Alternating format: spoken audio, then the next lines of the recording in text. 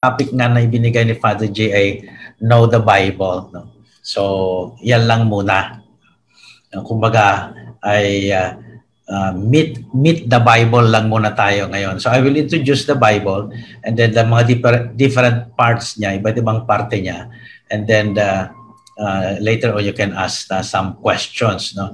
Uh, may promise si Father J na if we are still have more more time, maybe we can deepen it uh, in the uh, uh, coming days or months. No? So yun yung uh, aim nung uh, sa mga expert na ng Biblia at very familiar na sa kanila, well hindi para sa inyo ito. Ito ay parang Bible from the scratch, yung nag, nag parang nagtitindala ako ng Bible para uh, you will be animated to read the Bible kahit uh, nasaan man kayo, nagpapahinga o bago matulog o uh, uh, nag-relax. So that's the the the purpose of the just meet, meeting uh, the uh, Bible. So uh, yung uh, una sa lahat, syempre eh, it's it's time if you have not uh, yet have wala pa kayong Biblia ay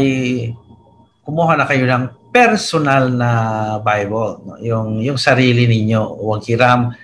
Um, ako ang dami kong ga- gamit uh, na electronics pero uh, still no pupunta pa rin ako uh, pag nagbabasa ng Biblia printed na book no printed word no more than the electronic. Kung electronics yung pabilisan na paghahanap okay lang. Pero once you begin to read uh, na, na seriously yung Bible, it's really good to have your own personal uh, Bible. So own a personal printed Bible, Biblia ko, mahal ko, and uh, maybe you, you can even say, uh, like what I, I've been always saying, na I hope uh, when I die, eh, isama yung Biblia na yan sa aking uh, kabaong no, with me towards uh, the, it, to, the, to eternal home. So, yung uh, very basic yun. Kasi napansin ko nga, sa tagal ko na nagtuturo, eh, pag sinabi mong uh, Biblia, uh, magkakandara pa pa, manghihiram pa dyan. And then, bibili ng napakamurang Biblia and the following weeks, sira na. Kasi nga, uh, the Bible can, the cheaper it is, ay the, mo, the easier na masisira. Ano yung mga Biblia na maaring uh, magaganda at, at uh, suited sa ating pangangailangan? Kung sa English, uh, you go to the you, if you have you have to you will buy, buy the New American Bible. Merong revised edition na.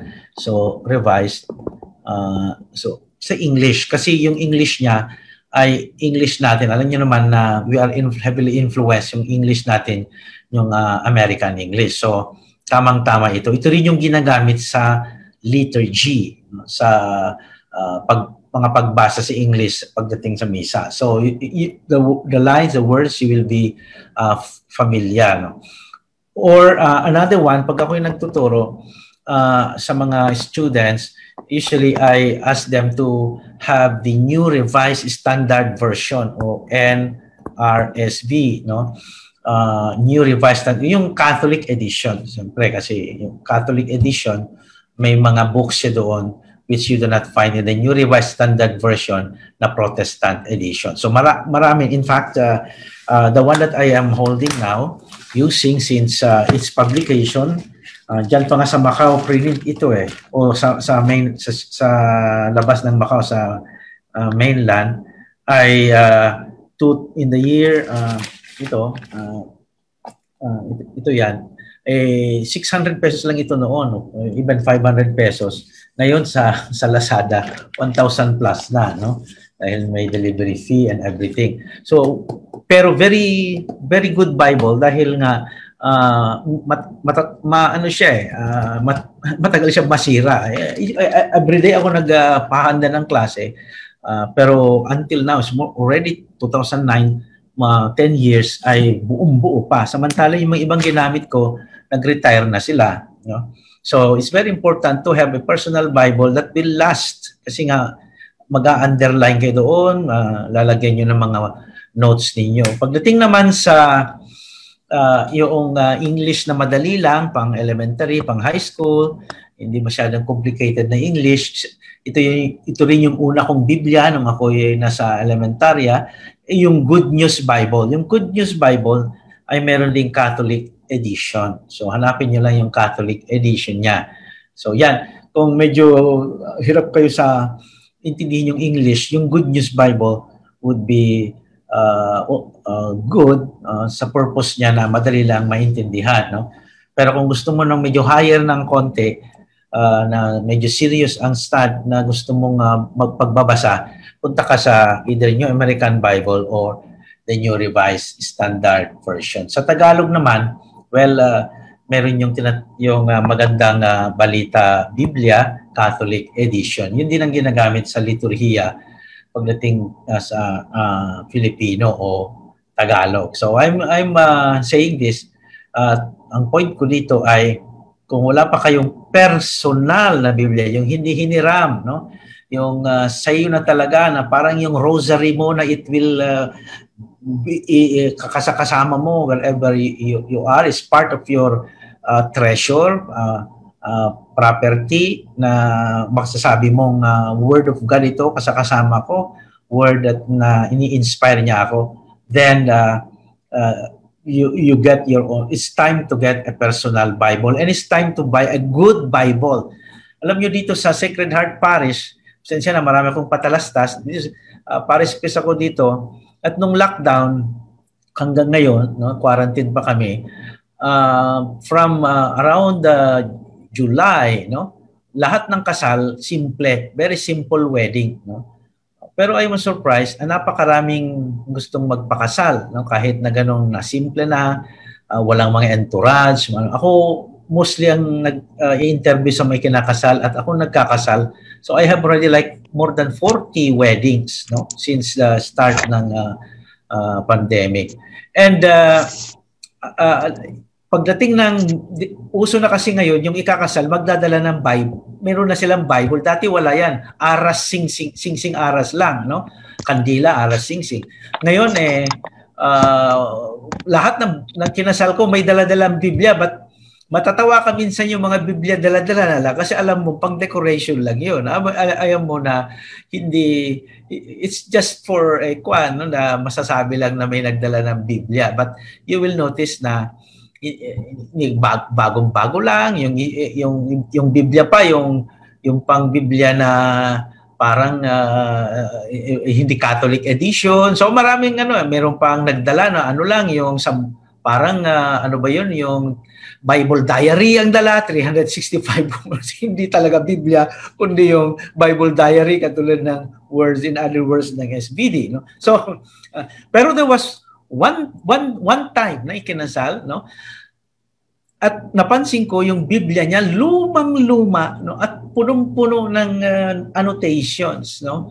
So I praise the the guy. And it is owned by the by the bro, groom no by uh, the uh, yung lalaki no so sabi ko wow uh, then father talagang I'm I'm really a Bible uh, uh, reader from since bata pa ako so very memorable sa akin itong uh, Biblia na dadalhin sa aking kasal. Would you imagine, no?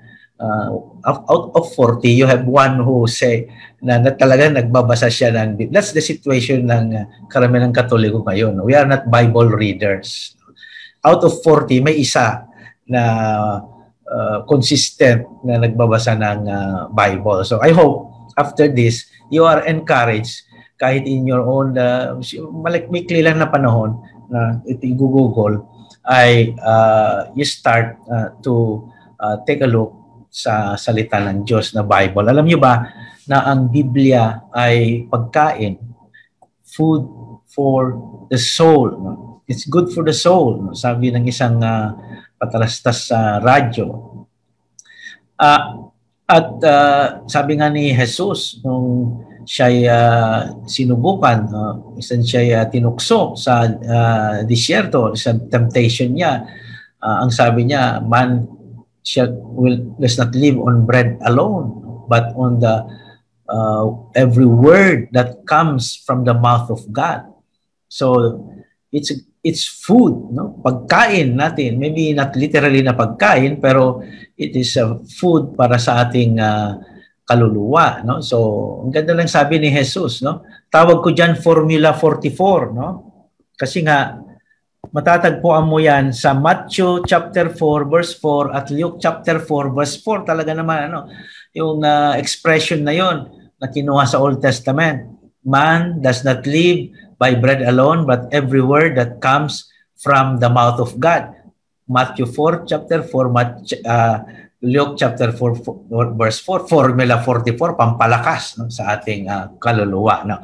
Now, literally, may kumain talaga uh, ng Bib- uh, Biblia. Eh, pagdating nyo dyan sa chapter 2 ni, ni Propeta, Propeta Ezekiel, yan yung kwento kung saan uh, uh, sina- sinabi sa kanya ng Diyos na papadala siya sa mission no sa at uh, mayroon siyang vision, may pangitain na nakita niya. Nakita niya na may mayroong kamay na may hawak ni scroll, no? Uh, yun yung Biblia ng unang panahon, nasa scroll. At, at sinabi doong boses na yon, of course, that's the voice of God, kainin mo. Sabi na sabi niya kay uh, Ezekiel, tos kinain naman nung mama ni ng propeta at uh, hindi lang niya kinain, binusog niya ang kanyang uh, sarili. Filled his uh, stomach, sabi doon, yung buloy, buong scroll siguro, nilamon niya.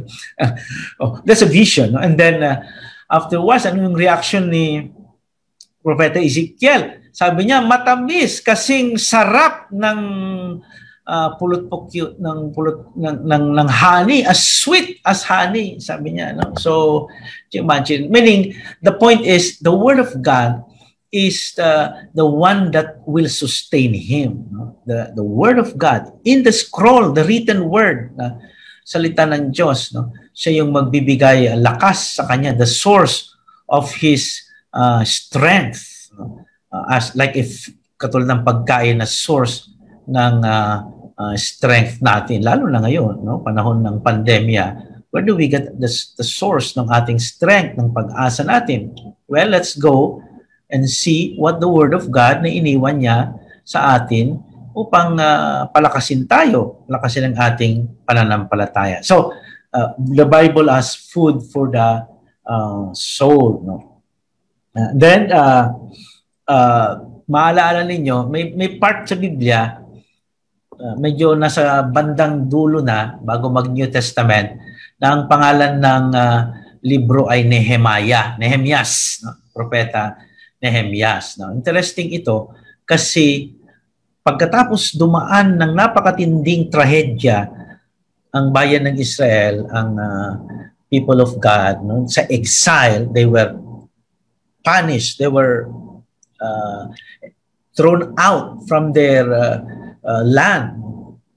Uh, mga OFW parang exile din kayo pero hindi naman kayo pinapunish. No? Yun, it's a punishment. So they were they they, they were sent out, you know, as uh, punished by the Assyrian Empire. No? So uh, Babylon, sorry, Babylonian Empire, by the Babylonia, so occupied them.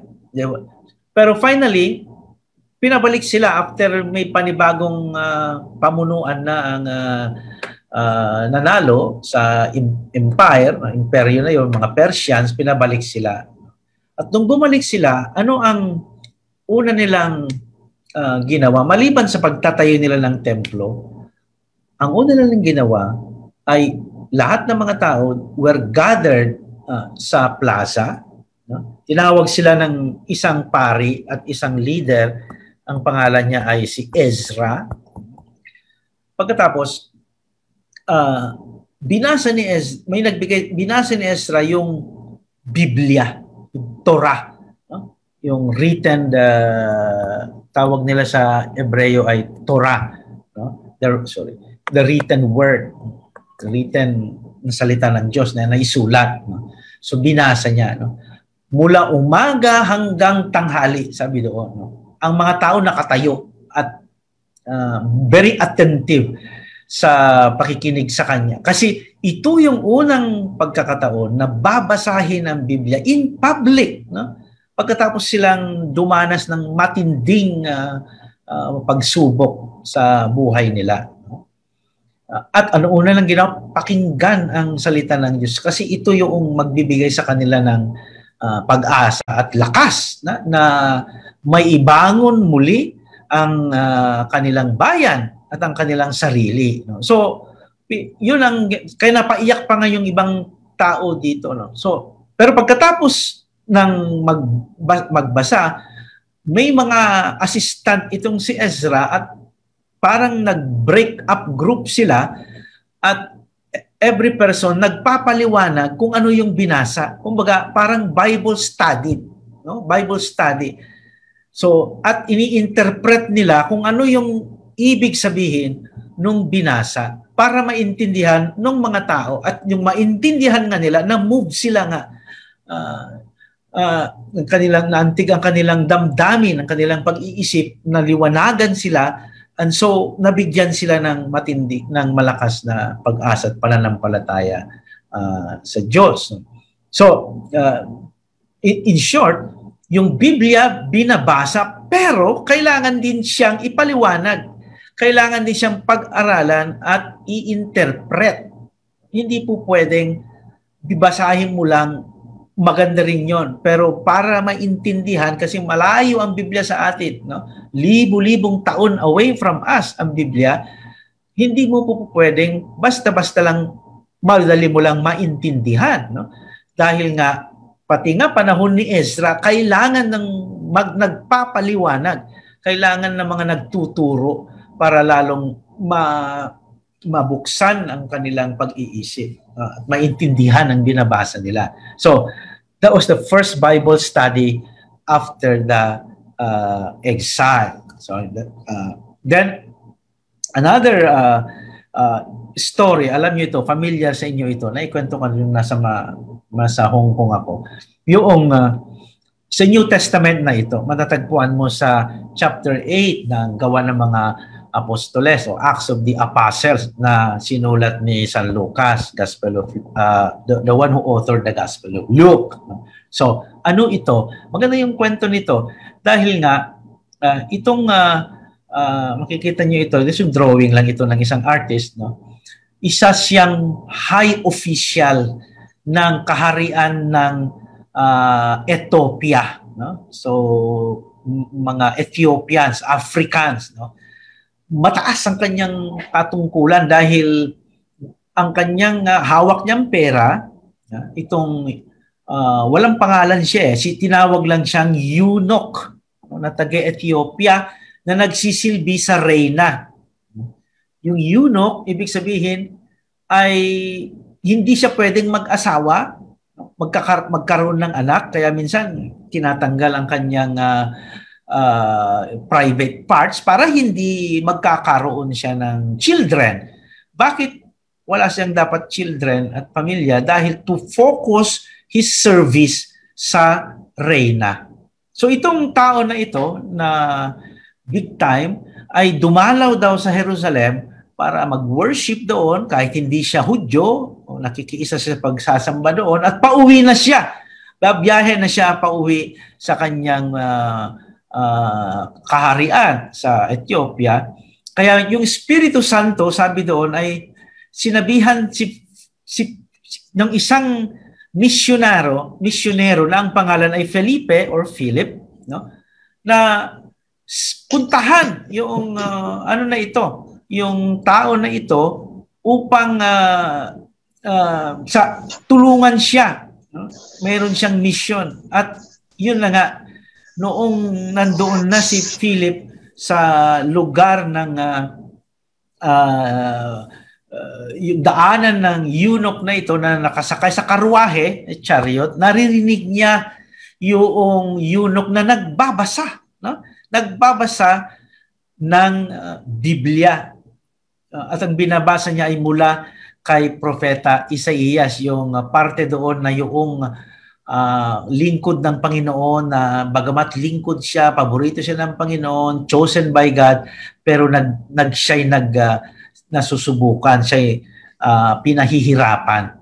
Uh, kumbaga marami siyang pagsubok, marami siyang problema, marami siyang, yung parte na yan sa libro ni propeta Isaías. Naririnig niya na binabasa uh, ng uh, yu, ng eunuch, bagamat hindi ito Hudyo, no? pero may interest siya sa salita ng Diyos. Kaya takbo si Philip, hinabol niya yung uh, karwahe at sabi niya, uh, Mama, Sir, sabi niya, naiintindihan mo ba ang iyong binabasa? Sabi ng eunuch, very humble no ito ay mataas na ang uh, may pag, may ipagyayabang no pero ang sabi niya how can i understand kung hindi naman ipinapaliwanag uh, sa akin no?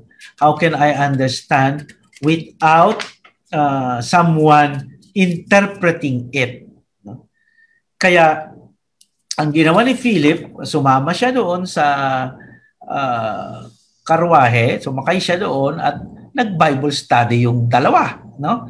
Ipaniliwanag ni Philip kung kung ano ang ibig sabihin yung like a lamb uh, before its shearer, he does not open his mouth, yung tungkol sa lingkod na uh, para daw uh, tupa na wala siyang imik, no? So sabi ng eunuch, sa tingin mo ba kan- kanino nire-refer ng propeta yung sinasabi niya, no? sa kanya ba sarili o sa ibang tao o meron pa siyang ibang iniisip. Niisip siguro ng eunuch, siya yun. Dahil nga siya yung lingkod ng uh, reyna na, uh, na buong buhay niya ay nialay niya dahil nga uh, sa pagsisilbi, no? Wala siyang imik, no? Wala siyang anak, wala siyang mga uh, asawa no? para lang makafocus, ma eh, dedicate niya ma, sa ang kanyang pag pagbuong buhay niya sa uh, paglilingkod sa kanyang amo. No? So, pinaliwanag ngayon ni Philip kung ano ibig sabihin noon simula sa lumang tipan hanggang kay Jesus. No? At noong marinig niya yung paliwanag na yan, anong sinabi ng uh, eunuch? Uh, ano ang pagpipigil sa iyo na hindi mo ako bibinyagan? Sabi niya. So, nung nakakita sila ng tubig, nagpabinyag na itong eunuch. Binyag ibig sabihin, naging follower na siya ni Jesus. No? Sa pamamagitan ng pag-aaral ng salita ng Diyos. So, he, he became a uh, follower. So, maganda yung uh, story niya na how important yung written word, the word of God, at pagpapaliwanag nito para maintindihan para sa isang tao at that yung isang tao na maiintindihan niya uh, ay uh, yung kanyang buhay na babago. Kaya nga yung pagpapaliwanag, napaka-powerful. Pwede rin yung nagpapaliwanag, ililihis ka. Maraming ganon. No? Ngayon. No? Kaya nga, mag-ingat nga tayo. Dapat yung nagpapaliwanag din ay makikita mo na maayos din ang buhay niya. No? at uh, maganda mat, marunong siya at uh, hindi yung ililihis ka marami kasing peka din ngayon no so nakikita natin na mapakadali silang matangay ng ibang paliwanag dahil nga uh, nakakapag-convince minsan ang pagsasalita ng tao yung magaling lang magsalita ayun na madali tayong uh, mahila sa ibang uh, daan so that's the the story there of how important yung uh, uh, reading and studying it and interpretation. Yung Biblia natin sa mga hindi pa uh, familiar masyado, dalawang section yon, dalawang division. No? Old Testament at New Testament. Yun ang tawag. No?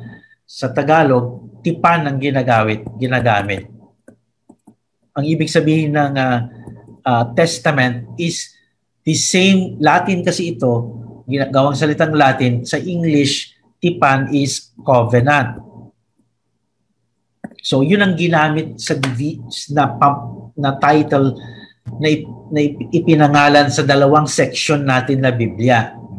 Yung yung New Testament, ito yung tungkol kay Jesus at sa unang simbahan. Yan yan. So from Jesus to madali. And before that would be the Old Testament. Tinawag na testament dahil uh, hinango sa dalawang uh, uh, parte ng uh, kung saan nabanggit yung covenant or new covenant. Yan sa kay Propeta Jeremias, may isang parte doon na sinabi, someday there will be a new covenant, meaning a new testament.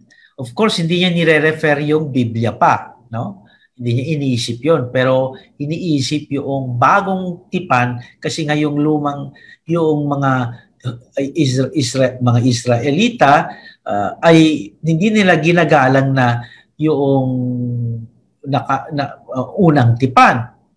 Parang binabaliwala nila. So someday marirenew ito. Someday para bang uh, uh, magkakaroon ka ng second shot sa vaccine, parang ganoon, mapapalakas muli, no? Ang tipan na ito, hindi ibig sabihin tatanggalin na yung lumang tipan na yon dahil dahil paso na, dahil expired na, hindi ganoon, no? Uh, ang punto ni Jeremias, kung bakit niya nabanggit yung new covenant, bagong tipan, ay dahil nga yung lumang tipan, papanabaguhin niya. No? Kumbaga, it is being more strengthened and being more uh, renewed. Parang, parang, uh, ano bang tawag natin yan? Maong na habang tumat habang uh, nilalabham mo yung maong, habang nagiging luma yung maong, gumaganda, di ba? Yung maong na ganun, na pantalon na habang uh, gustong-gusto mo pa nga na lumang-luma siyang ma, ang itsura niya kasi nga uh, ibig sabihin uh, tested ng panahon no so yun yun yun yung ganon so at nabanggit din ni San Lucas nung si Jesus ay nasa huling hapunan na ipangako niya na ang sabi niya uh, uh, uh, doon sa kalis doon sa dugo niya uh, the new covenant So si Jesus yung new covenant na tinutukoy niya. So yun yung ugat nung salita na yan na, na testament. So ang ginagamit natin hanggang ngayon.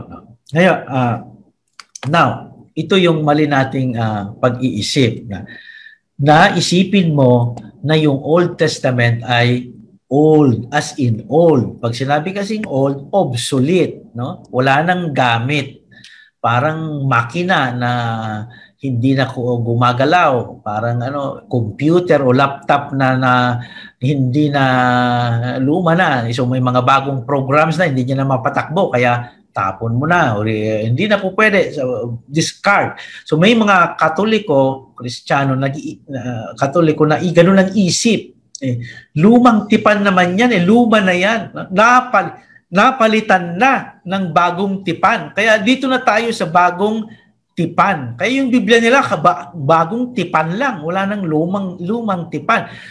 That's not correct, no? At in fact, uh, sasabihin sa iyo pag sasabihin mo hindi ka katoliko pag ganun ang sila sabi mo kasi kasi nga ang luma at bagong tipan parehong ang kanilang degree ng kahalagahan. Salita yan ng Diyos. No? Word of God. No? Both the Old and the New Testament. So hindi dapat isipin na yung Old Testament has been superseded, napalitan okay, ng bagong tipan.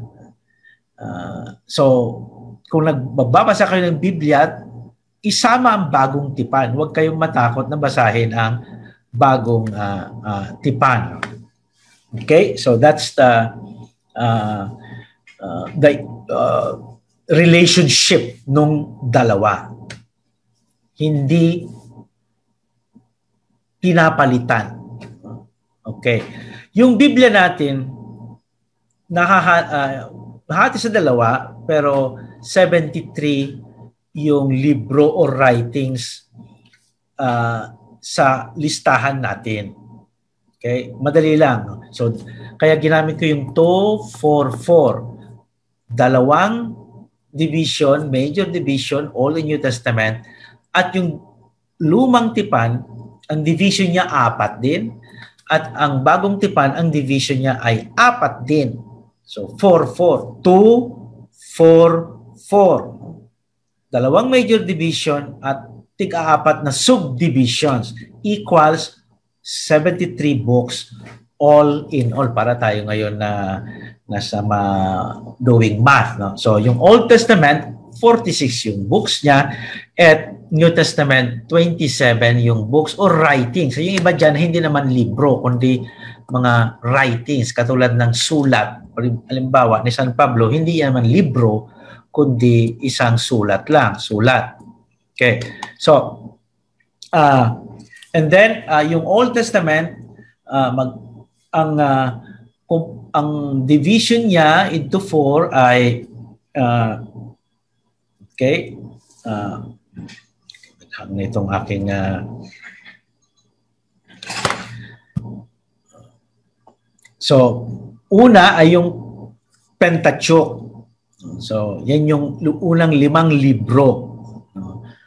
Then, uh, ito yung pwede mong sabihin mula paglalang hanggang kay Moses, kwento tungkol kay Moses, most of the most of it, no, yung Pentateuch. So, sino ba ang bida diyan sa Pentateuch? Sino ang mahalagang character diyan sa Pentateuch? Maliban sa Diyos, siyempre, Moses. And then, pasok yung mga historical books section na yan. Joshua, Judges, no? uh, 1 and 2 Samuel, 1 and 2 Kings, and so forth and so on. Mamaya, isa-isahin ko yan. And then, yung pangatlong division, yung tinatawag na sapiential. Sapiential, ibig sabihin, karunungan, tungkol sa karunungan. At poetic, katulad ng Salmo, na poetry. Okay? So, sapiential books and then prophetic books yung huli, yung mga propeta. So, yan, apat na division. So, pag buksan niyo yung Biblia nyo, titingnan nyo, ay ito, libro ni Macabeo. Ah, historical books yun. It belongs to the uh, second division. So, mayroon sila silang, uh, kumbaga, cubicle itong mga uh, libro na ito. At yung New Testament, ganun din, apat. Yung una, yung ebanghe- mga ebanghelyo, apat yon. Ang ebanghelyo naman, kung ang Pentateuch ay tungkol kay Moses, ang ebanghelyo ay tungkol kay Jesus. Okay? Buhay at kamatayan at gawa, turo ng ating Panginoong Jesus. Sa Pentateuch, tungkol kay Moses. And then, may historical book din, iisa nga lang, yung gawa ng mga apostol. Yung isang section kanina na binanggit ko na tungkol kay Philip at yung taga-Ethiopia na eunuch. No? And then, uh, so yung kasaysayan sa tungkol sa unang simbahan ito, yung uh, historical books. No? And then mga sulat-sulat-sulat, kasama na dito ang sulat ni San Pablo, letters, and finally, pinaka-last ay yung natatangi libro na naiibang estilo niya, no? Kaya tinawag na apocalyptic book. Okay, apocalyptic uh, yung libro ng apokalipsis o libro ng pahayag. Yan yung ta- isang tawag din. So makikita nyo, 244. Maganda rin ma nandoon yung division sa isip nyo para pag bukas nyo ng Biblia, knowing the Bible, makikita nyo agad where this book is o, bil, o belongs kung saan siya na kasama sa kategorya para uh, hindi ka mawala um, sa focus. Sabi nga nila, ang Biblia ay parang papasok ka sa kagubatan. No? Hindi mo alam kung saan ka uh, uh, e-exit no? dahil nagubat. No? Sumawa, wala ka kung wala kang guide o wala kang GPS. So, yung, yung, yung struktura na ito can serve as a guide. So, halimbawa, kanina, ang binasa sa misa ay uh, dahil fiesta ni San Timoteo at San Tito, Titus and Timothy and Titus, binasa yung sulat ni San Pablo sa kanila kay Timoteo. So, ano yung sulat? uh, it belongs to the category ng letters. Okay, so uh, 2, 4, 4 equals 73 books or uh, writings. No? Kaya nga, ang sabi nga nila, ang Biblia ay parang library, parang maliit na uh, library. No? Na, so, books consisting of books and writings. Okay? Then, uh, punta na tayo sa lumang tipan. Katulad sabi ko kanina, no? Mahalaga ang lumang tipan. Hindi mo dapat itsipurahin huwag mong itsintabi. Yan ang uh, magbibigay sa iyo ng direction pag nagbabasa ka ng bagong tipan. Kasi nga, yun yung pundasyon niya. 43.6 books all in all. Merong mahahaba, may maiikli, may isang cap chapter lang. No? So yung Pentateuch, lima, Genesis, Exodus, Leviticus, Numbers, Deuteronomy. Yun yung lima in order. No? Eh, siyempre, kung ikaw magbabasa ng Biblia, unahin mo muna yung libro ng Genesis kasi yan kauna-unahang, par, kauna-unahang libro na nandyan. So, yun. Five. Kaya pinapag pag nagtuturo ako limbawa, nagbaba Bible study, which I have actually every Wednesday sa mga uh, dito sa online, ay section by section. No? So magtuturo ako, okay, ito muna, Pentateuch, because they belong into one kategorya. Okay? Moses. So yan. Then, uh, yung second uh, division ng Lumang Tipan ay historical books. Medyo mahaba-haba ito. No? 16 books all in all in four divisions. Kaya pag nagtuturo ka ng historical books na ganyan, talagang kailangan mo ng marami pang oras dahil nga labing anim na libro ang tatalakayin mo at yung libro na ito can be divided into four uh, divisions. So yung number one na division, yung Deuteronomic history. Number two, yung Chronicles history. Number three, history of Maccabees. And number four, historical sounding midrash. Ipapaliwanag ko kung anong ibig sabihin ng mga ito. Okay? So ito yung apat na divisions. At, at ano yung mga libro na nasa uh, division niya?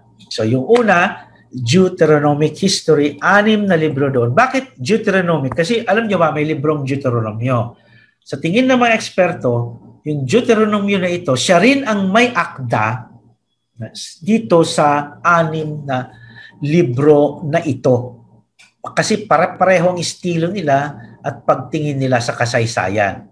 So sabi ng mga eksperto, malamang yung may akda na hindi natin kilala na ngayon, uh, yung libro ng Deuteronomio, naiiba kasi siya sa Pentateuch. Naiiba siya sa unang libro, although kasama siya sa unang libro, dahil speech ni Moses, pero maiiba siya. No?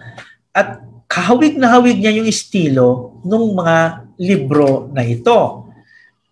Joshua, Judges, 1 Samuel, 1 uh, 2 Samuel, 1 Kings, and second book of Kings. Yan. Noong uh, nakaraang buwan, no, nagturo ko online ng uh, ito, tinuro ko sa online. Uh, ibibigay ko yung link uh, mamaya kasi naka-record naman sa Facebook. Ay it took me mga 11 Wednesdays no, para pasadahan ang lahat na ito that this mga libro napaka I should say interesting kasi makukuha mo yung kasaysayan nga ng sinaunang Israel bilang uh, uh, paliwanag para maintindihan mo lalo ang mga binabasa. So, si Joshua yung pangalan ng karakter doon, si Josue So, and so forth and so on. Yan, yung unang uh, division ng historical books, Deuteronomic history. Pag bukas yun ng Biblia, makikita niyo yung libro nyo, 1 Samuel, ah, this is part of the Deuteronomic history. Kasaysayan na maaring sinulat o ginawa nung, lib- nung gumawa ng libro ng Deuteronomio. Okay. Hmm number uh, uh, ito mga sa kasaysayan ng uh, doon ma, may parte doon na aataki they will attack. Enemies will attack uh, Israel. Uh, sorry Jerusalem. So yung syudad center city parang Hong Kong no? Enemy uh, the enemy yung mga imperyo ng Assyria Assyrio nandyan na sila no at malapit na malapit na, in fact, yung isang siyudad na occupy na nila, ang pangalan ay Lakish. No? Siyudad na yan.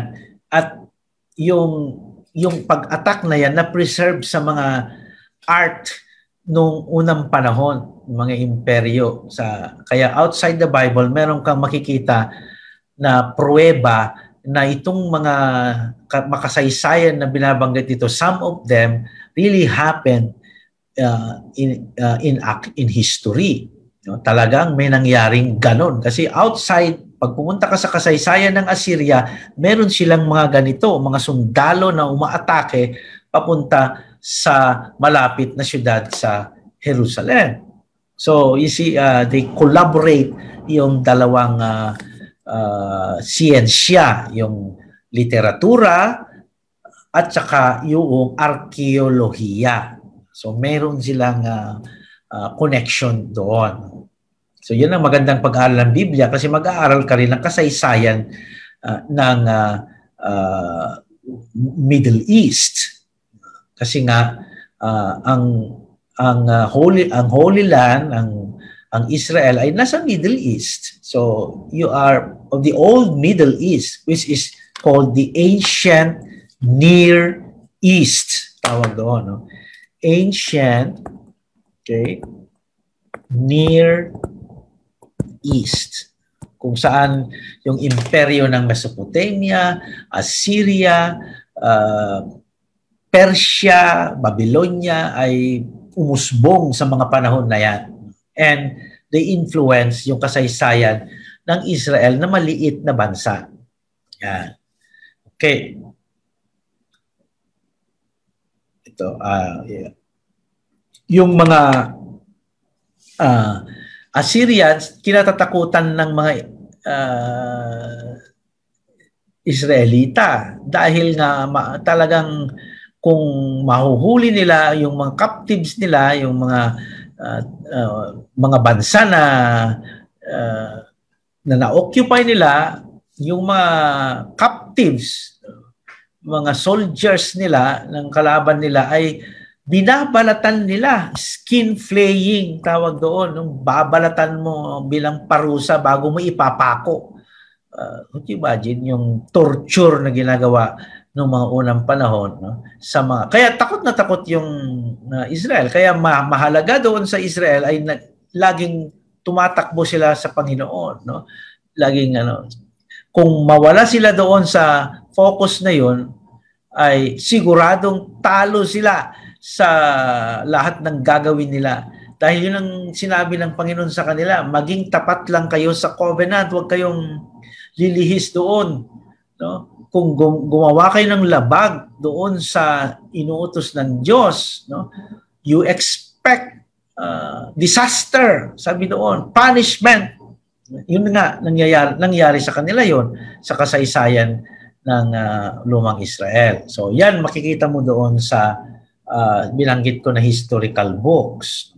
So yung second part ng historical books, hindi siya masyadong nababasang mga ito na, pero may second part pa. Kumbaga sa Netflix, kung mahilig kayo manood ng Netflix, pagkatapos ng isang season, may pangalawang season, no?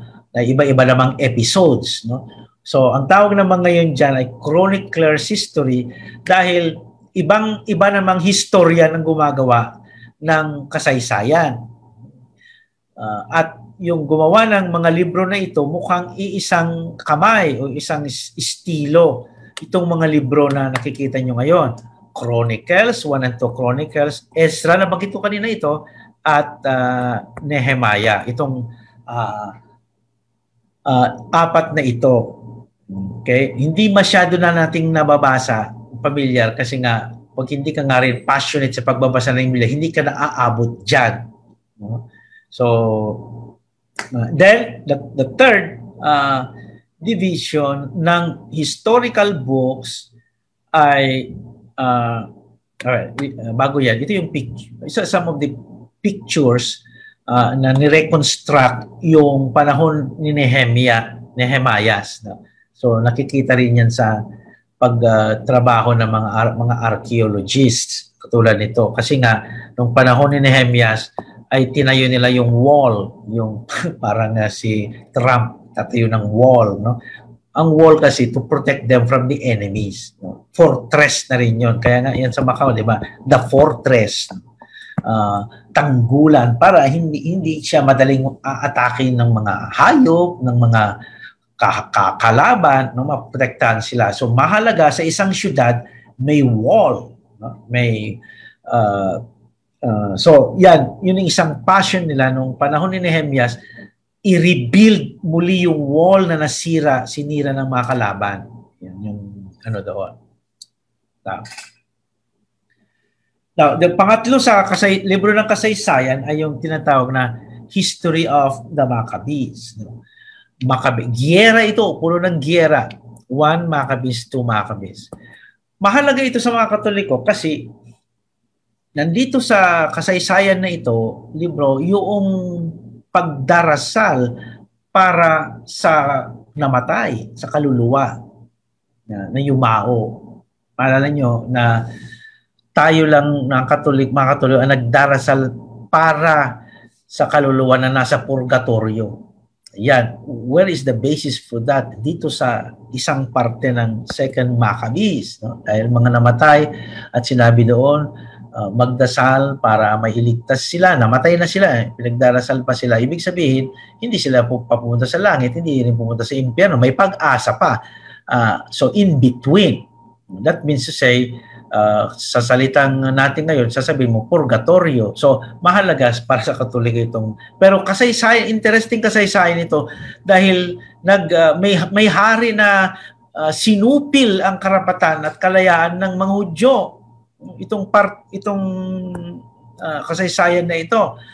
Kaya yung mga Makabeyo, pamilya ito, family, nag nag umaklas sila no? Kasi nga ipaglaban ang kanilang karapatan na magsamba sa Panginoon, no? At uh, karapatan nila na hindi uh, yung uh, sisirain at uh, uh, ang kanilang mga templo, ang templo nila, ang pagsamba nila. Kasi itong hari na na pumalit na hindi naman uh, Hudyo uh, ay talaga namang walang galang sa kanilang relihiyon. So nung maklas sila, yan, ito kaya sabi ko kanina uh, giyera ang uh, ang uh, kasaysayan na ito, parang uh, season number 3. Sa season number 4 natin, panghuli dito sa historical books, Uh, well, by the way, bago ko ipagpatuloy yon, dun sa 2nd Maccabees chapter 7, pagbasahin mo yun, napakagandang kwento. Ito nga, uh, gusto ng hari na sumama itong mga magkakapatid. Iwanan nilang kanilang rehiyon, ng kanilang Yahweh, kanilang Panginoon, para doon sa hari. Na, so, pina, tinatakot sila kung hindi kayo mag-give up ng iyong mga pananampalataya na yan, sa Yahweh na yan na sinasabi ninyo, pa, matutur, to, you will be tortured and you will be killed. So, yung nanay nila, ito, may picture ng nanay, ito art na gawa na ng mga artist. Yung nanay nila, sinabi niya sa kanilang mga anak, anak, no, Maalalahanin niyo yung mga itinuro namin sa inyo. Huwag niyong talikuran ang iyong pananampalataya at maging matibay nga ang mga bata, uh, mga anak na ito. So they were all killed. The seven brothers were all killed by the king. No? And finally, yung mother naman ang isinod na pinatay. So kung uh, imagine there uh, standing for the faith, kaya tinawag na martyrs, mga martir sila. So that's the uh, eh, tragic story pero uh, sa pag binabasa mo makikita mo yung uh, i-admire mo yung pagiging matapang nila at mat, matibay na pananampalataya sa Panginoon. Yung makabisyo, yung makikita yon, yun ang mababasa. Merong mga apat na libro, panghuling season ng historical books, yung tinatawag na parang kasaysayan pero ma- makwento siya para bang sine na mukhang kasaysayan based on real story, sabi nila, pero alam mo na hindi naman eksaktong ganon. May mga ganyang mo, sine na sasabihin based uh, on real life, sasabihin in, on on real events. O nga, base nga sa totoong events kaso binago na yung mga mga iba-ibang parte niya. So parang ganoon ito mga at uh, mga libro na ito ay libro ni Ruth, libro ni Esther, Judith, at Tobit. Itong 1, 2, 3 na ito, puro mga babae, ang bida. Okay? Pagdating mo sa pang-apat, Book of Tobit, napakaganda ring kwento ni Tobit. Uh, may anak siya na si Tobias. Bulag si Tobit. Tapos mamamatay na siya. Sabi sa kanyang anak, anak, may nakautang sa akin na malaking pera, puntahan mo kahit malayo para kailangan natin ng pera kasi nga taghirap eh. So it, itong si Tobias ay lumakad siya at dahil nga uh, matuwid ang taong ito, ang tatay niya si Tobit, no? matuwid na tao, ma, mapagkawang gawa, no? kahit yung mga namamatay na siguro nagka-COVID noong unang panahon, in, inililibing niya.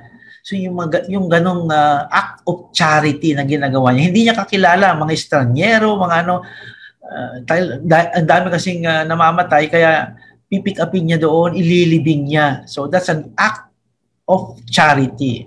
Dahil nga, kayo nung inuto, nautosan niya na yung anak niya na lumakad, maglakbay, sinamahan siya ngayon ng anghel. Yung nga si Anghel Rafael. At sa bandang huli, no, nakahanap sila ng gamot sa tulong ni Anghel Rafael at naibalik uli yung uh, vision nung noong uh, pagkabulag nakakakita, nakakita uli si Tobit. Eh, magandang kwento. Mayroon pang kwento dyan na love story dyan sa parte na yan. Kaya hindi ko na ikukwento. Kailangan nyo, kayo na mismo ang magbabasa. So ito yung artist portrait sa, mula sa internet kung paano uh, ginamo ni Rafael Ar- Arcangel Rafael uh, uh, at sa to ang bulag na si Tobit. Ito si Tobit, to misis niya, ito yung Angel Arcang Arcangel Rafael no? at uh, si Tuba, Tobias. May isda dito.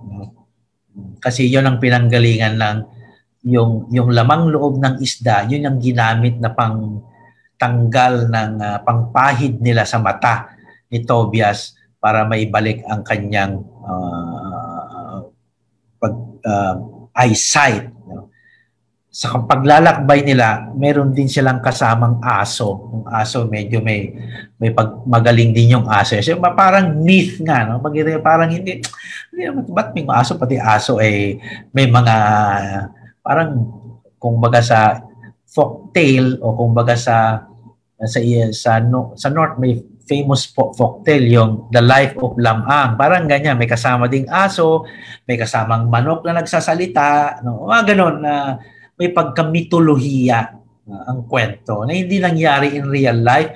But it could have been based on events na may mga ganyang tao na matuwid, tumutulong sa kapwa, naghihirap, nabulag na ganyan. Pero some people help him to regain his sorry, eyesight.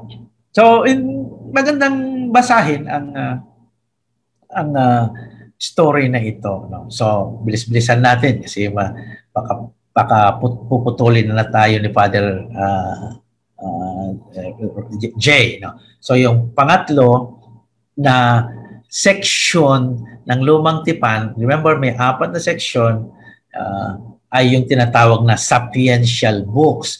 Pito sila, no? seven books. At ito ngayon ang kasalukuyan kong itinuturo sa dalawang seminaryo at nung nasa Macau ako, University of St. Joseph sa Macau, ito rin yung section na itinuro ko. So ano yung lim- pitong libro na ito? Libro ni Hope. Na, napakaganda ring basahin ito. Yung taong talagang sinubukan at sinubukan ng Diyos. At may parte pa dyan na itong si Hope na ito talagang mahalapit nang mawala ang kanyang tiwala sa Diyos. Kung hindi man nawalan ng tiwala dahil sa matindi na na pagsubok naman, sobra naman yung pagsubok na binigay sa kanya ng Panginoon. So, magandang basahin niya, panahon ng pandemya. And then yung Salmo, yung libro ng mga salawikain, yung Ecclesiastes, na uh, paborito ng, ng mga ilan dito sa Pilipinas, yung presidente natin, paborito rin yan, Time to be Born, Time to to Die, sasabihin doon, a time uh, for war, a time for peace, may may may uh, uh, there's a time for everything. Mga ganon. Yan yan sa libro ng Ecclesiastes. yung Song of Songs, kung mahilig kayo ng parang poetry ng pag-ibig, yan ang pupuntahan ninyo. No? Kung hindi kayo marunong magsulat ng love letter, dito kayo pupunta kasi love poetry ito. No? Po- poetry, tula ng pag-ibig. No? Oh, you're like a dove hiding in the crevices of my heart. Parang mga ganyan, no? Uh, sasabihin ng mga nanliligaw sa kanyang nililigawan. Yung mga mata mo, kumikinang, mga ganun. At uh, ang, ang, ang katawan mo ay parang bundok na. So, yung mga uh, poetry, wala ngang Diyos na binanggit dyan eh. Puro pag-ibig, no? Kaya pagdating ng kasal, gustong gusto kong basahin some parts of it kasi nga is a poem, no?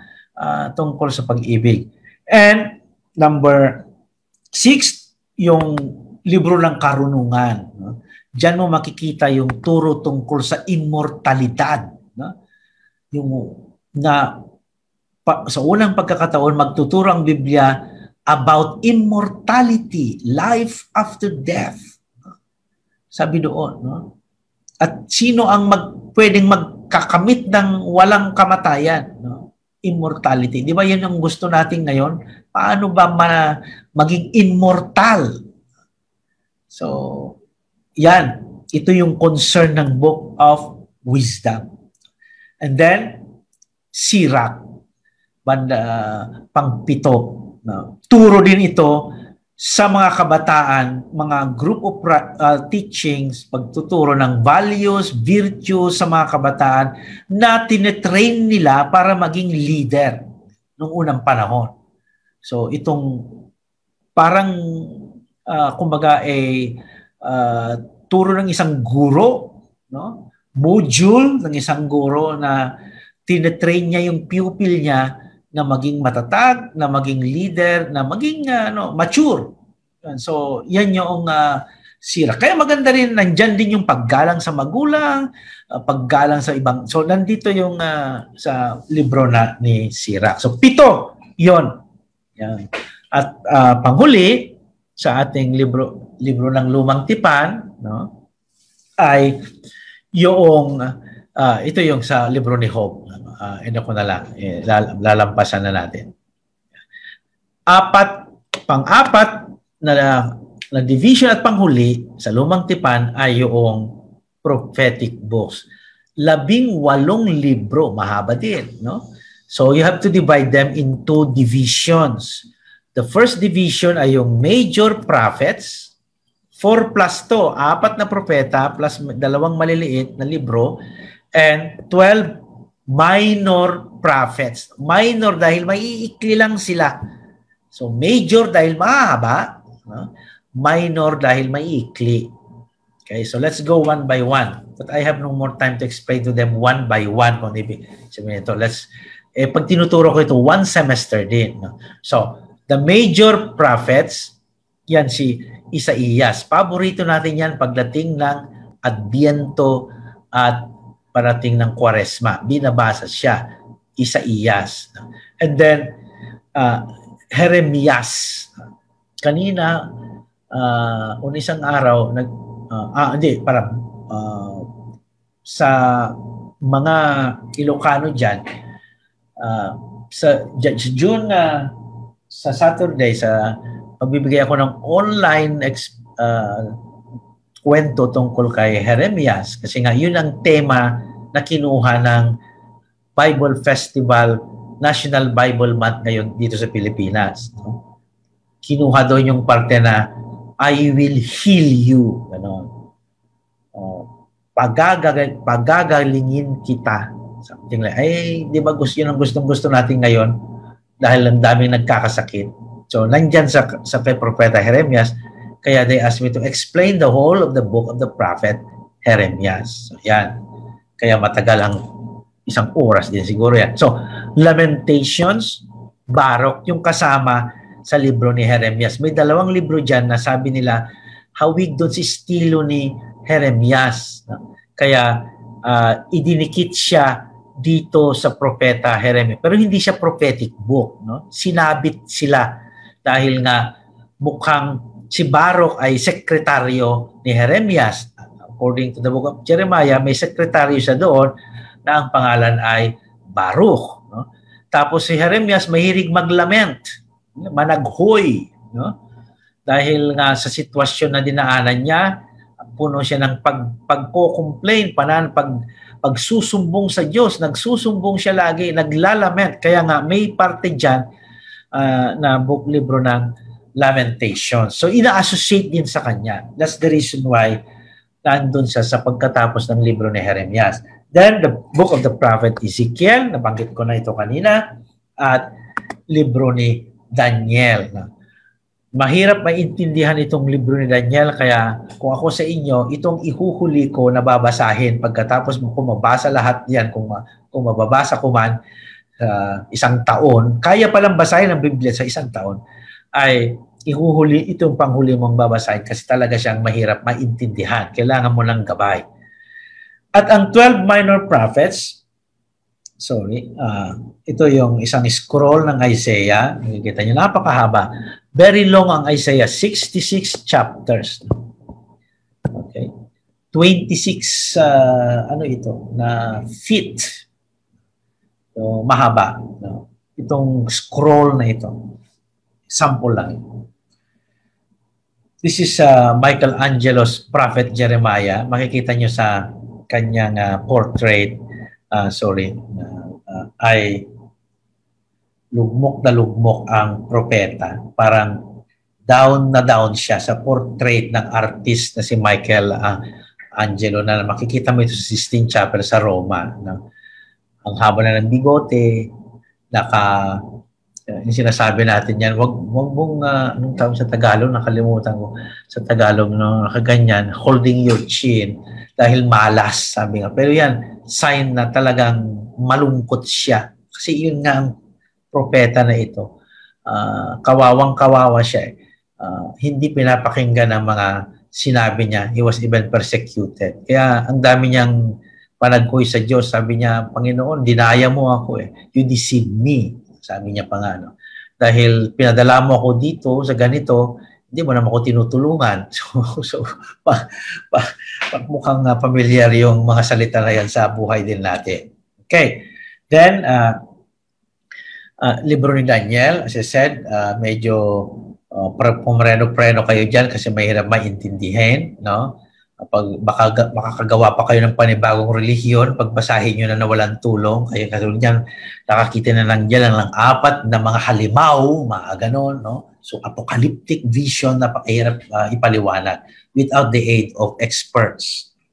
Okay. So, uh, then the 12 minor prophets, at uh, 12 sila na minor, maliliit kasi pero they are not they, they, hindi ibig sabihin na sila ay uh, hindi mahalaga. So the 12 minor prophets, yung Hosea, Joel, Amos, Obadiah, Jonah, nandiyan si favorite yung Jonah na tumakas, nilamon ng malaking isda.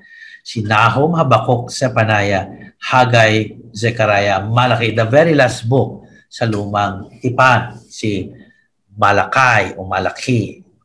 So, pag nagtuturo ako para madaling i-memorize, high school pa lang ako, memorize ko na yan. Elementary ata, Hojo, Am, Objon, Mi, Nahasep, Hagsek, Man. Sasabihin mo lang yan. Alam mo na yung 12 minor prophets in order. Hojo, Am, Objon, Mi, Nahasep, Hagsek, Man.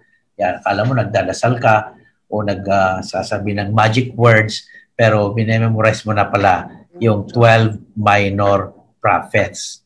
So, yan. That uh, ends yung Old Testament.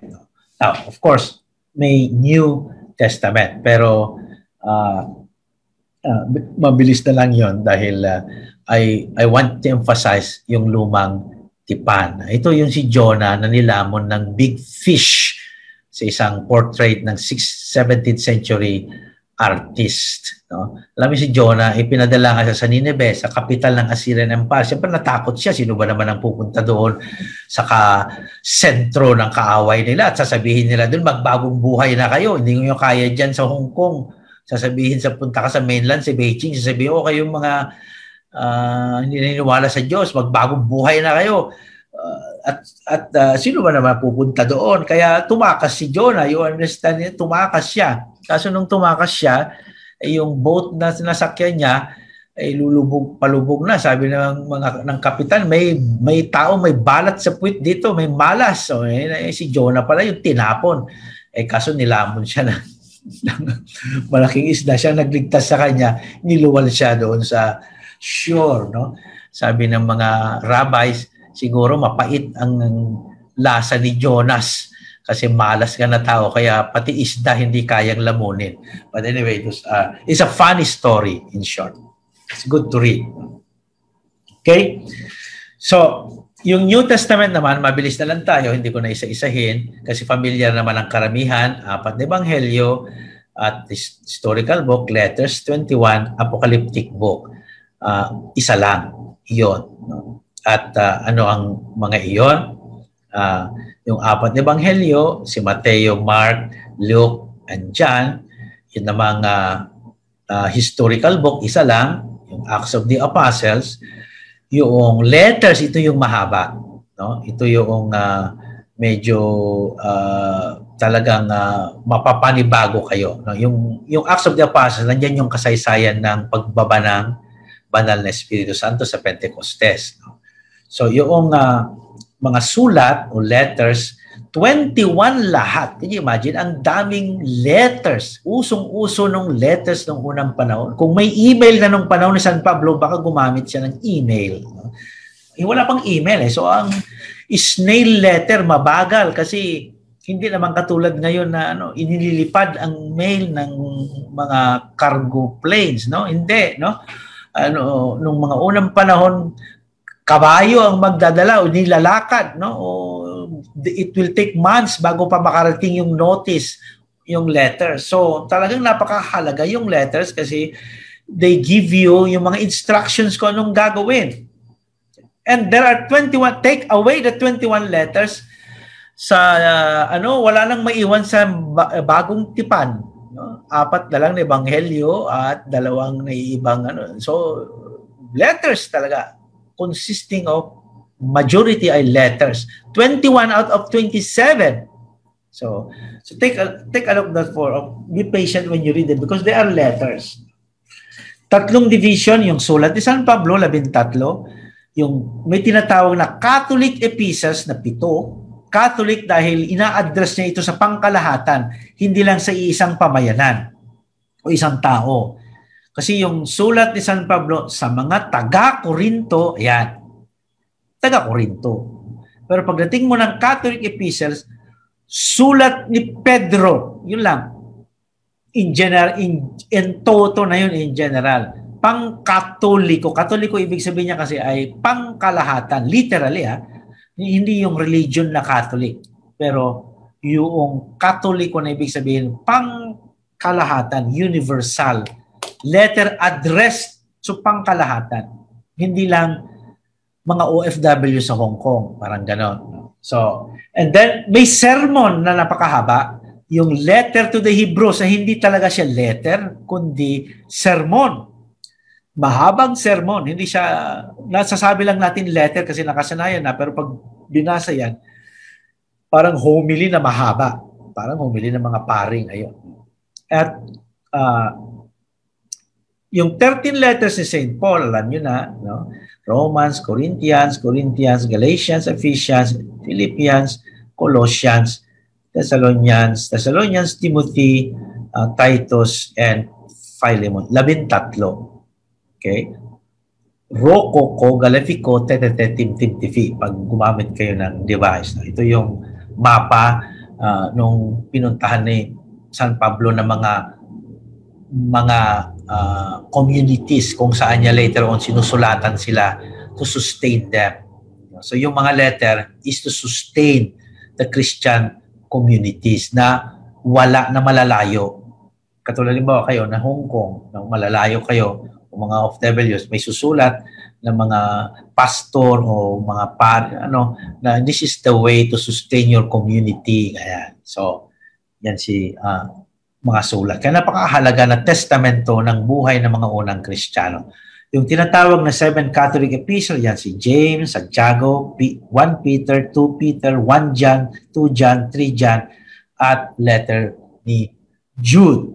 Sikat ito sa uh, St. Jude na hope patron kasi ginagamit sa novena ng St. Jude itong sulat ni St. Jude. Hindi si Judas ito na Iscariot, kundi yung isa pang yung name na Jude is one of the early Christian leaders as well. So sa so seven, capital at panghuli, yung uh, sermon, ah sorry, na letter to the Hebrews, na iba, dahil uh, parang sermon ang dating niya.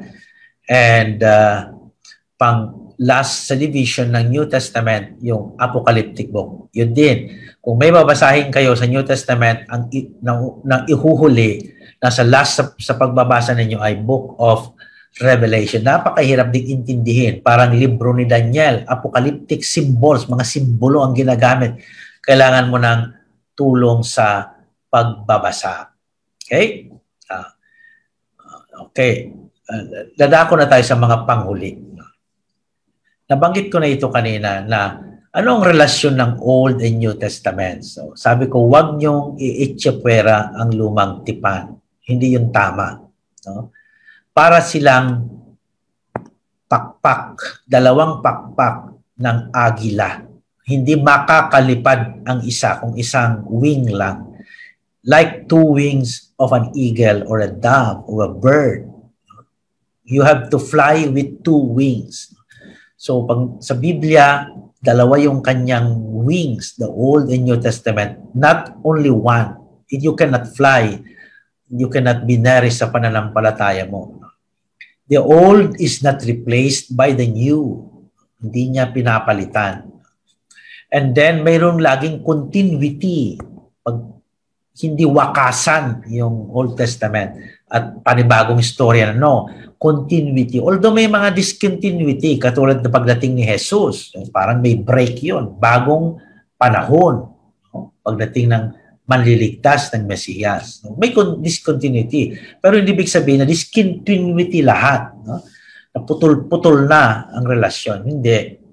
In the Old Testament, one can encounter the God of Jesus as well. So yung makasalamuhang Diyos ni Jesus, punta kayo sa lumang tipan. Sabi ko ito para i-advertise ko to animate you na basahin ang lumang tipan, hindi lang yung bagong tipan. Okay? At darating na tayo sa last. Tips to know more about the Bible. Tips lang ito. Practical tips. Number one, have a personal Bible. Nabanggit ko kanina. Read at least five minutes a day. Noong Sunday of the Word of God, last Sunday, every year, namamanata kami mga Bible apostolate dito sa Diocese of Cubao, namamanata kami na babasahin namin ang Biblia 5 minutes a day. Kaya mamaya, imbitahan kayo mamanata. 5 minutes a day lang. 5 minutes. Yan ang minimum protocol, kumbaga sa COVID-19 protocols, health protocols. Minimum lang. At least limang minuto, malaking bagay na yon kung hindi mo kaya limang minuto at least, no?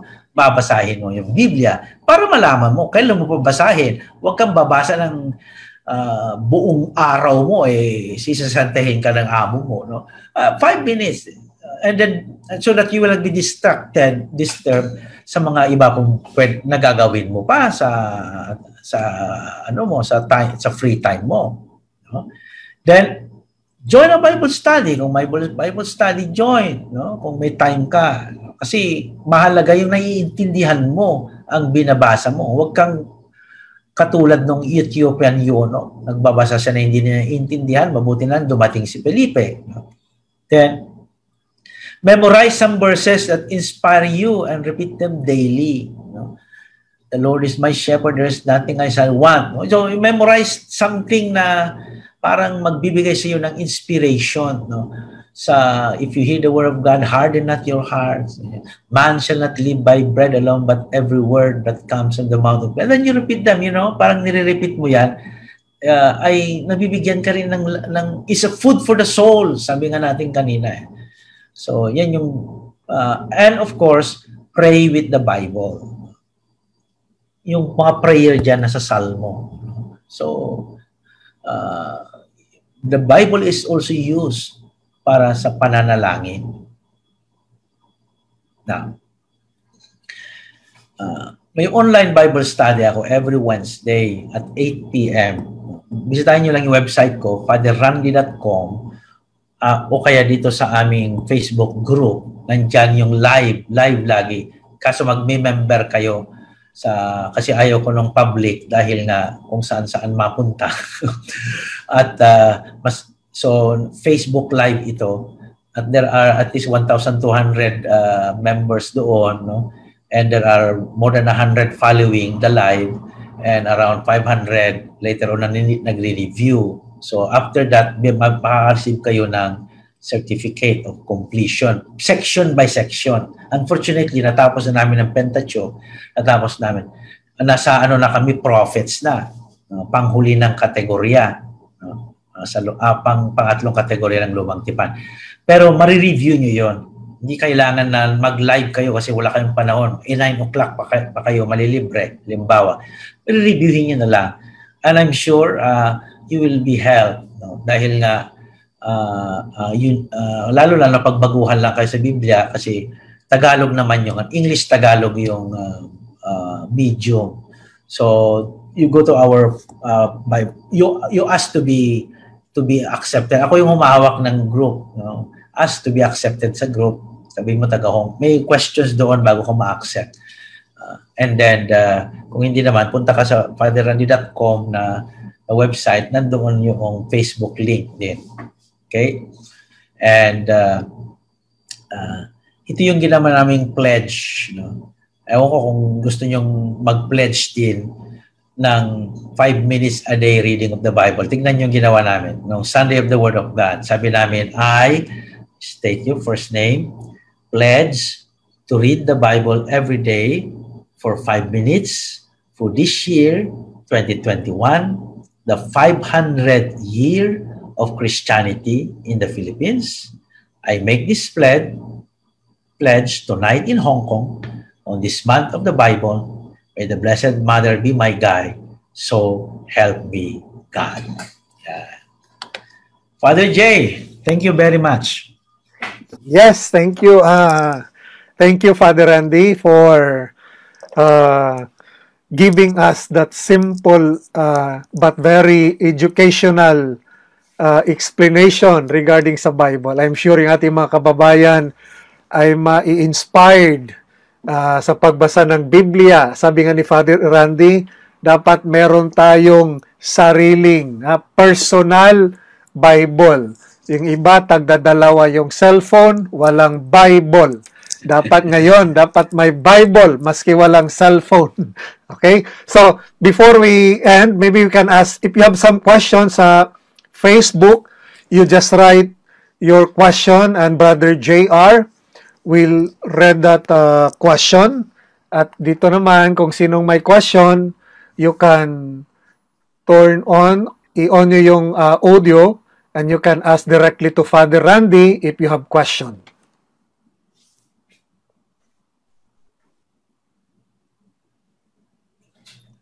My question?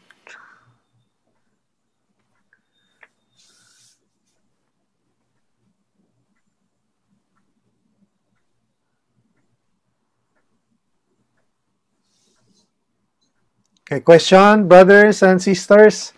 May tanong, si tita may tanong. Itanong mo kay Father Randy. well, uh, baka tulog na sila. But, uh, but I see 160, 163 uh, dito sa Facebook Live. Eh. At uh, ito sa aking watch party ay, uh, well, uh, may medyo marami basahin kung basahin ko. So I just want to greet them na lang yung mga nasa watch party sa aking uh, account, Facebook account. Greetings to all of them. Yeah. Hmm. Sabi kasi may nag-comment, Father, thank you, Father Randy. It's very clear. Sabi ni Rene Pasamante. Okay, yeah. so, so may, may, uh, yung Bible, uh, ang January sa Pilipinas ay National Bible Month, di buong buwan. No? Dati National Bible Week, wala na yon eh. ginawa ng National Bible Month. Presidential Decree 124. President Duterte. Okay, yun. Then, uh, yung uh, Monday, last Monday of the month ng Enero, ginawa ring National Bible Day. No? Mm-hmm. Republic Act 11163 authored by your favorite boxer, Senator Manny Pacquiao. So yun, Pastor Pacquiao. So 1163. Uh, so ibig sabihin, nung Monday yon, no? Holiday sa Pilipinas pero working holiday. Pero it promotes the that day is the time of the government to promote the Bible. So meron siyang uh, legal ano basis. Ngayon yung Catholic world naman tayo, Roman Catholic, sabi ni Pope Francis on the third Monday in ordinary time, yeah, which is last Sunday, ay you devote it as Sunday of the Word of God. So sa misa. So meron naman tayo ngayong uh, uh, Roman Catholic. So they co- nagko-coincide yung ano eh, yung celebration dito sa Pilipinas. Kaya ngayong buwan na ito talaga ay parang talagang Bible month. At for three days since Saturday, Mon, uh, Saturday, Sunday and uh, Monday kahapon, Bible Festival naman online. Yun ha. Iba ibang mga uh, pati uh, Catholics and Protestants joining together to have an online festival, different talks, different singing, concert, ganyan, for three days. Nakikita nyo siguro yan sa Facebook kasi post ng post share ng share ang mga uh, ano, mga taga rito. So, yun. So, my question dito, Father. Uh, yes, ah, JR. Hi, Father, may question, uh, may question po si Sister Jesseline. Uh, tanong po doon sa Maccabee story yung Dali po. So, story, yung mga martyrs, are they considered as saints? Yung po ang sa question ni Sister Jesseline. Uh, well, uh, uh, uh, ang uh, as saint na canonized, of course not. No? Kasi hindi naman, uh, diba ang saint natin ang sa ating uh, uh, tradition ay may canonization. Of course not, no? Even we do not call Saint Abraham yung mga sa, sa Old Testament, no? They are predecessors of faith, no? Kasi yung category nga natin ng saint would be in relation explicitly to Christ, to Jesus. So yung martyrs na martyrs ng Jewish faith, yes, no? Hindi naman nila tinatawag na saints eh. ang, ang ano they call them the martyrs of the Jewish faith yun yun they are heroes ng uh, uh, ng uh, religion ng Judaismo which is out the the source and uh, root ng ating Christian faith is the Jewish faith. So in a way, pwede mong sabihin, yes, they are martyrs, but to qualify them na na saints, no, ay uh, well it's it's not like that. Sabi ko kanina yung saints natin must have to be related with uh, dying kung martyr dying for Jesus. Yun. Eh hindi naman ganon eh. Yes okay thank you. Another question Father Randy uh, from Wensan I think Hilda. Father Randy how can we understand the book of Daniel and the book of Revelation? Uh, uh, guidance by priest or theologian. I read it before and I was scared. Please advise po no from Hilda of Yunlong, Hong Kong. So magandang gabi kay Hilda. O, at least nabasa niya na, no? At na, na nakita niya, na-discover niya na, na talagang uh, mahirap, uh, maraming simbolismo eh. Kasi nga yung estilo ng writing ay naiiba which which was a famous style of writing at that time, yung apocalyptic. No? Yung apocalyptic, yung para bang maiba yung, yung mundo na kinagagalawang mo ngayon is about to collapse. No? no more, there's no more hope. So the only hope is this world will perish, will have to be destroyed. No? At uh, ang, mas, ang mundo na ito na masisira ay mapapalitan ng bagong mundo which will ruled by God. Kaya may labanan ng, ng good and evil. Satan and God, no? And uh, so, yan yung mga kwan niya, genre niya. Uh, may, ang daming symbolism diyan. Kaya mahirap na if you are not careful nga, but you can you can create so many religions were created out of those interpretations ng uh, Revelation at Book of Daniel, no? May mga religion na nabuo dahil sa ganong sa interpretasyon. So, saan mo kukunin yung guide? Sa mga experts, sa mga commentary, sa mga ano 'yun. In short, when you read, you read them, kasana may guide kayo na yung na komentaryo na maayos. Mga may mga experts diyan na from the very very simple commentary to the most complicated one na oh, nasa ma, ang maganda yan pag mag-consult kayo sa katulad namin mga nasa Bible na tuturo ano ba ang magandang commentary para sa na yan na may intindihan ko yon ipapasa yan sasabihin namin unfortunately uh, nasa ano ko eh uh, I, I don't know how to share it kasi PDF covered by copyright eh. So, ang hirap naman i-share in public yung mga materials ko na komentaryo. Kasi ano yan eh, covered ng copyright ng mga publishers. Hindi pwedeng ano lang.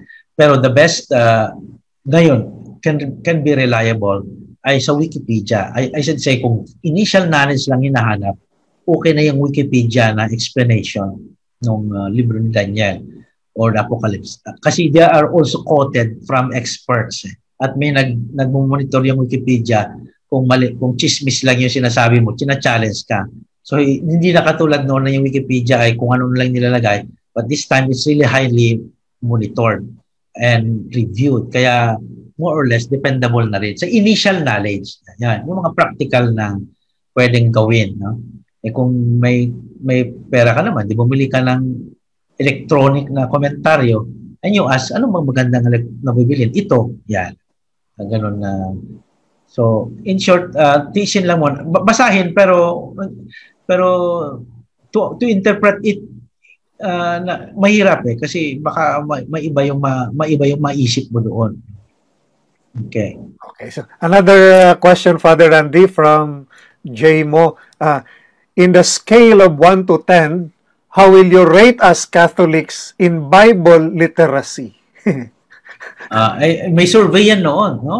2009, I think, or 10, bago lumabas yung document ni Pope na uh, ano ba yung document na, na, na Verbum Domini, no?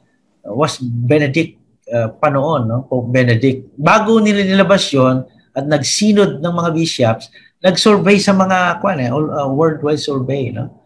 Kaya yung reaction ng ng document at ni Pope doon sa mga uh, ano niya later yung exhortation niya sabi niya ay kulang na kulang pa ang familiarity ng mga Katoliko uh, tungkol sa Biblia. Yung kulang na kulang. So kung scale of 1 to 10 baka na, nasa 2 pa lang. sa 2 hmm. lang. Yung familiarity lang yun ha. Hindi pa yung talagang nalabasan mo na yung libro ng Daniel, pag-aralan mo siya through commentary, na systematic, no? Nag-aaral ka na, no? No, familiarity pa lang. Sino yung asawa ni ganito? Yung pa lang yung tinatawag. Kaya yung ginawa natin, familiarity pa lang yun. It's not really a Bible study. Pa, ano pa lang, para hindi lang mako-confuse. Just to know the Bible and meet the Bible. Nandun sa level pa karamihan na Ganon. Na, even seminarians, even, ganon naman eh. Kasi hindi naman yung tradition natin yung Bible masyado. You have to accept it. Mas, mas memorize mo pa nga ang novena to the Immaculate Mother. Katulad ko, na-memorize ko kahit wala akong guide, nakikisama ako sa novena to the Perpetual Health. No? Memorize natin yon no? Uh, than, than the, any, any scriptural chapter or text. No? dahil nga uh, hindi naman natin pinapractice yon binabasa araw-araw. So 1 to 10 maybe maybe 2 generous na ngayong 2 eh.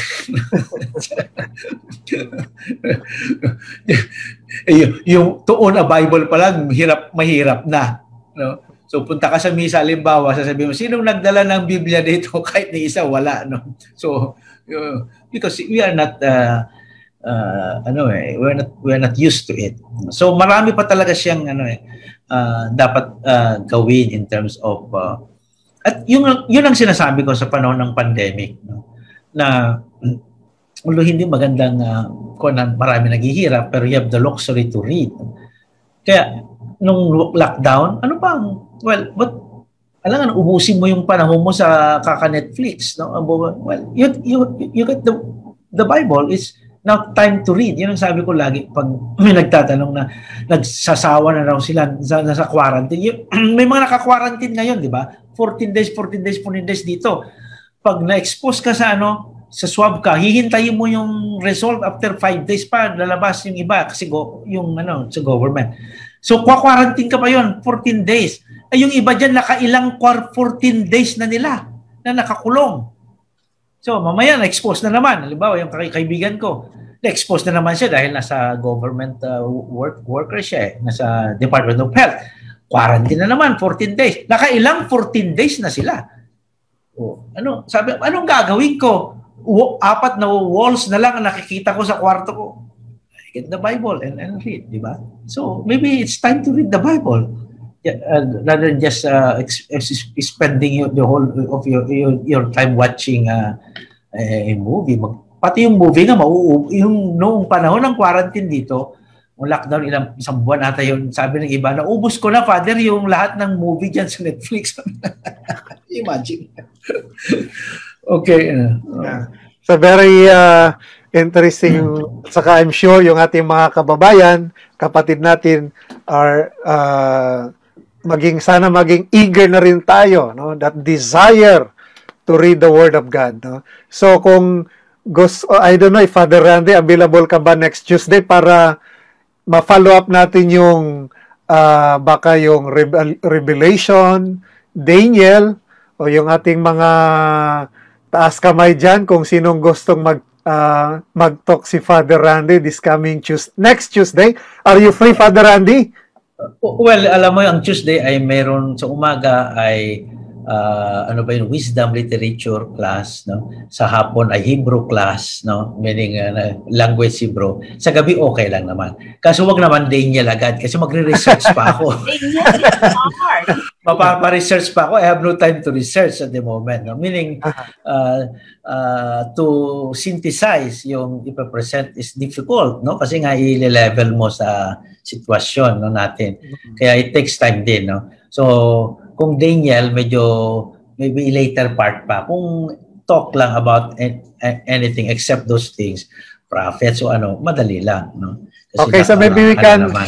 we can have uh, next Tuesday, Father Randy, uh, to help us again, no? uh, maybe based sa mga question ng ating kababayan, uh, topic that can inspire them, at lalong-lalo na yung mga question, uh, especially in Hong Kong, no, uh, text na ginagamit from other communities na to discourage us, no, Catholic na to, parang nagdududa yung iba, eh, sino ba talaga yung uh, tunay na simbahan. I think it's uh, maybe connected also with the you know 500 years the Truth Church. No? Uh, maybe yung pag-usapan natin next Tuesday. Okay ba yun sa iyo, Father Randy? Oh, yes, kung question and answer is okay, no? Uh, I, will, I will not have to prepare. Pero siguro magbigay ka ng konti na explanation, mga just 20 minutes o 15 minutes or 20 and then yun na nga, kung may mga may iwan na mga tanong ngayon uh, sa Facebook o sa dito sa Zoom, chat chat box eh will be entertained next week. Okay lang 'yon sa akin. Mad, ano lang naman eh. Pero every Tuesday ay uh, bakit Tuesday pala? Uh, may ano special uh, Space. Uh, ito, ito lang meeting time ninyo. Uh, because may ang Wednesday, uh, may other communities, Wednesday meron silang per meeting, Friday, uh-huh. so napili namin yung Tuesday. Uh, para lahat na may mga communities they can join, can participate. Kasi may mga schedules ng Wednesday, Thursday, Friday. Oo, oh, nga no. I understand. No? Eh, kasi nga baka patay na ako pag kasi nga buong araw na sa online ako. Uh, uh, uh, kung kwan lang, uh, mayroong ito, i-advertise ko yung kanina, in-advertise ko, may Wednesday, pero baka nga may ginagawa na nga kayo ng Wednesday. Na, mayroong Wednesday ako na 8 to 9 na Bible study. Pwedeng i-review nila yon no? kung uh, gusto nila. From, nagsimula ako ng Genesis eh. So, Pentateuch, Pentateuch na three se ano pangatlo ng uh, course ito eh. sa with the, with the lay people dito mostly kasi nung quarantine nung makita ko na marami silang oras yun I took the chance na nasabi ko wala naman na, nababagot na yung iba at uh, ano naka, nasa loob ng bahay and then to discourage them from going out so nag-offer ako ng evening class for mm. lay lay people so karamihan nandoon eh uh, ngayon pwede nilang ano yun ano arrange and then once in a while siguro uh, yung Tuesday. Kasi may Tuesday pa pala ko, uh, ano, uh, Father Jay, meron pala kaming Password TV every Tuesday uh, evening 8 to 9. So, mm-hmm. yun ang yun ang yun yun ang kwan uh, kung 9 o'clock may 8 to 9 before that. So, that, that might not be a good time for me. Uh, so, so, tingnan niyo na lang. Mag-usap na lang tayo privately. Okay, so baka i- i-announce i- we will announce uh, kung anong day uh, Father Randy will give us a lecture uh, talk again online. No? So we will just announce. No? So para yes, maka-prepare din si Father Randy and yung mga questions din natin. And again, yung invitation ni Father Randy para makatulong sa atin yung kanyang online uh, teaching every Wednesday uh, 8 p.m. Okay, so maybe last two or one question before uh, Father Randy will lead us sa uh, prayer. Father, may question ulit si, may tanong po ulit si Jessie Lane po. Follow-up okay. question. Ano, anong book po sana sana po pwedeng basahin yung love story na hindi mo po naikwento kanina? Uh, love, oh, kung story ha, kung poetry, Song of Songs. Pero pag uh, sabi ni Jesslyn, story kasi kwento eh. Tobit yon Merong part doon, yung part ng libro ng Tobit ay paghahanap din ng papapangasawa ni Tobias, ni Tobias, yung anak niya. Dalawa yun eh. Maniningil siya sa uh, somewhere sa Ektabana, sabi yung lugar na yon. Pero with the process ng paniningil niya at paghanap niya na para maka ng, ng gamot para sa tatay niya, ay naghahanap na rin siya ng mapapangasawa. No? And that is the beautiful story. Kasi nga, uh, uh, itong mapapangasawa ng anak ni Tobit na si Tobias ay napakamalas niya. No? Yung mga mapapangasawa niya, nakapito na siya. No? Na mapapangasawa niya. Puro na namama, sa sa evening ng kanilang honeymoon, mama, mama, namamatay yung mga lalaki, yung mga asawa, mapapangasawa. Can you imagine? so, although napakaganda niya, no, something like that. At uh, so they, merong curse, parang may curse ng demon doon sa mga sa kanya na tuwing ikakasal siya, tuwing mama, until this guy Tobias comes in, Uh, and sinabi ko anong gagawin, anong gagawin para mawala yung curse. So sinabi, sinabi ng anghel, magdasal. Magdasal kayo. So the night before the honeymoon, after the wedding, the night before the wedding, nagdasal sila. Beautiful prayer. No? At ginagamit ngayon yan sa prayer, sa nuptial blessing pag may kinakasal. So, Book of Tobit. Yun. Okay. Kung, kung wala kayong Book of Tobit dyan, ibig sabihin, hindi Catholic edition yung Bible ninyo. Hanapin nyo lang, kung walang Book of Tobit sa table of contents, you are holding a Bible that is uh, not a Catholic edition. Yeah. Okay, so thank you very much, Father Randy. Father Randy, can, uh, sana next time makasama ulit namin kayo, Father, ha? for as we celebrate yes, yes, 500 years. No? Sana ma-in love yung ating mga kapananampalataya, na magdala, magbasa ng Biblia.